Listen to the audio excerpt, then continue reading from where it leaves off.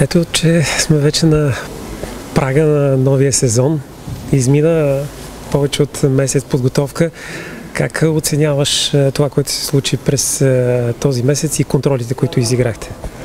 Много бързо минава за мое съжаление, така искаше ми се още малко време да имахме да се подготвиме, но като оценка давам отличен.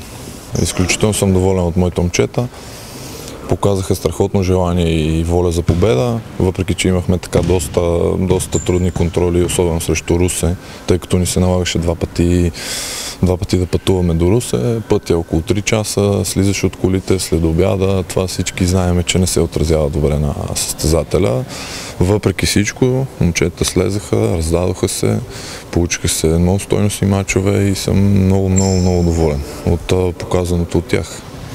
А предвид е, това, което имаше в главата си, когато започна да избираш какъв състав е, ще подбереш за този сезон и а, след изиграните матчове, по-обнадежден ли си от това, което си мислеше тогава и сега? Определено дано да така да не дигам летвата много и да вкарвам излишно напрежение в моите момчета. Надявах се да събереме така един боеспособен отбор, да напълним залата догоре, така да върнем славните времена в Добрич или поне до някъде. Това, което показва отбора до момента, съм още по-доволен. Не си представях даже, че ще играме по такъв начин. За месец и половина успяхме да изградиме много добър колектив. Момчета се разбират, имат страхотна воля за игра. Даже понякога повече отколкото е необходимо. Трябва да сме внимателни. Това разбира се в кръга на шегата с тези емоции, които имаме. Но силно се надявам така хората в Добрич да се върнат в залата, тъй като последните няколко години вече сме свидетели така, поизпразва се залата. В един труден период сме, но, но се бориме, не сме се отказали. Отбора ни е хубав и смятам, че имаме сили да се противопоставяме на всеки, който дойде в Добротица. Конкуренцията обаче се вижда, че ще е доста сериозна. Вие всъщност имахте възможност да изиграете мачове срещу, може да се каже, почти половината от отборите в групата. Да кажем преките ни конкуренти, които са в последните години така Хебър, Варна и Русе, въпреки всичко и те направиха не лоши отбори. Русе има трима чуженци, няколко млади момчета талантливи. Залата им не е много приятна за игра и много отбори ще имат проблеми там. Така че ние не сме победили някой случайен отбор от Б група. Напротив, доколкото знам отбора на Русе има амбиции. Отбора на Черно море, виждате, имат страхотни центрове, бивши, сега настоящи национали, има двама хубави чуженеца, особено единия някои хубави млади момчета, така че Хебър взимат чужденци и те правят отбор. Общо взето така, аз вече един път го казах, че тази година ни предстои да наблюдаваме един от най-успорваните шампионати изобщо. Някога се да се е провежда в България. Няма слаб отбор, всеки може да загуби навсякъде. Така има едни левски, които играят страхотен волейбол и може би не искам да обижам, има и други класни селекции, разбира се, но може би те са така не ни гърди пред останалите. Всички други отбори, нещата изобщо не са ясни, особено когато гостуваш. И да насоча към утрешния двобой, първи матч ще се изправиш срещу е, отбор воден от е, твоя бивш треньор, който води няколко години Добруджа, но серия е постигнал най-големите си успехи. Как, какво е усещането? О, ми, страхотно. Аз израснах при Миро Живков. Един страхотен специалист. Имахме, може би така, да, имахме, не може би, имахме, заедно преживяхме най-славните времена на Добрич. Но всичко това е в миналото. Разбира се, то си е за нас и остава, но утре ще бъдем съперници и аз ще направя всичко възможно да го победя.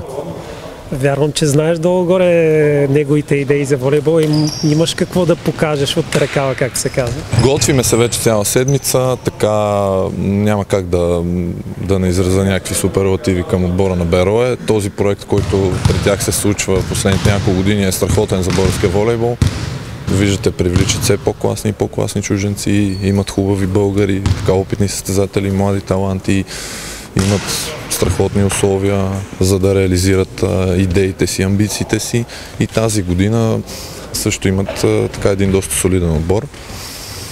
И... Сами ще се убедите утре. Имат високи състезатели, хубави са, изглеждат, изглеждат добре, играят правилно волейбол, така че ни очаква един страхотен матч. Надявам се.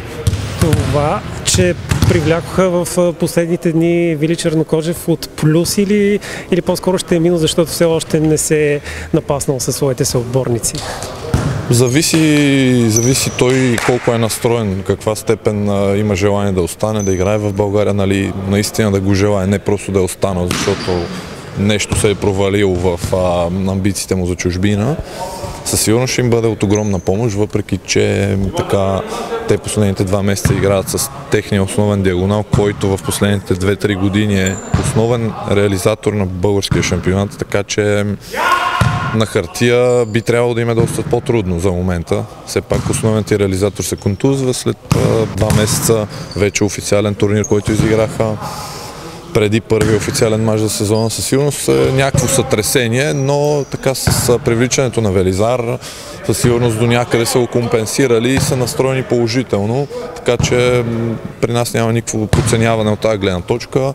Напротив, мобилизирани сме, очакваме един доста солиден съперник и аз лично си пожелавам залата да е пълна догоре, да зарадваме хората утре обращение към феновете да дойдат да подкрепят, защото със сигурност отбора ще има нужда от тях. Предвид факта, че и в контролите много малка част от мачовете бяха домакински. Ами за съжаление да, защото географското, географското ни положение е такова, че е доста трудно да помолиш да, или да накараш някой, който и да е отбор да дойде до Добрич да, за един матч и да си ходи обратно още 10 часа успяваме да играем, така, въпреки всичко се радвам, че успяхме да изиграем с Варна и Русе мачове. Имат хубави отбори, беше положително.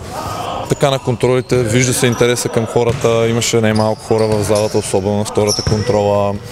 Моя апел е всички да, да бъдат част от отбора, но да бъдат настроени положително. На нас също много ни се иска да побеждаваме във всички матчове, но трябва да бъдем и реалисти, защото нивото се дига лека по лека нивото се дига вече не случайно сме в топ, да кажем, да не кажа 5, но топ 10 на волейболни първенства в света. Така че играеме добър волейбол, играеме всички, казвам всички отбори. Виждате, дигат нива по 4 чуженеца. Преди години, ако имаше един чуженец, това се наричаше Реал Мадрид в волейбол в България. Сега всеки отбор има по 4 чуженеца. Е, няма как да побеждаваш всеки матч, невъзможно, освен ако не си с селекция на Лудогорец. Така че нека да бъдат първо положително настроени, защото ние трябва да си ценим и да си уважаваме един от малкото спортове в А група, които са в Добрич. На първо време всички знаете чисто от социална гледна точка какво значи да имаш такъв отбор в Добрич, за самочувствието на гражданите и така нататък. И на нас не си иска много да побеждаваме, но със сигурност това, което може да обещаем е, че ние емоционално и спортно-технически ще се раздадеме според възможностите си на 100%.